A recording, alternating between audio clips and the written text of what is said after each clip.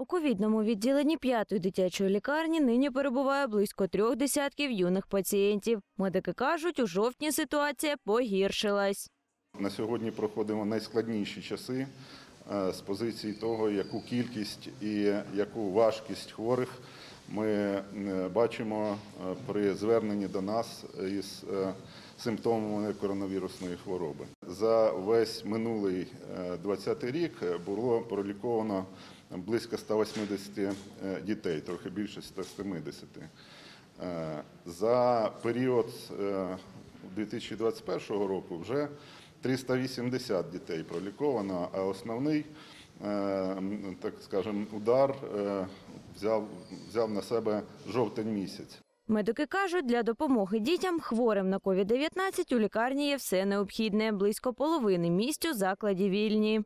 Ті заходи, які були проведені раніше е, по медобладнанню, по апаратам ШВЛ, по моніторам, пульсоксиметрам, електровідсосам, е, медикаментам е, за рахунок і певного, певної акумуляції ковідних коштів ми повністю забезпечили. А ще для лікування юних пацієнтів завчасно перепрофілювали фахівців з інших відділень. Усі відповідні ковідні виплати лікарі отримують вчасно та у повному обсязі.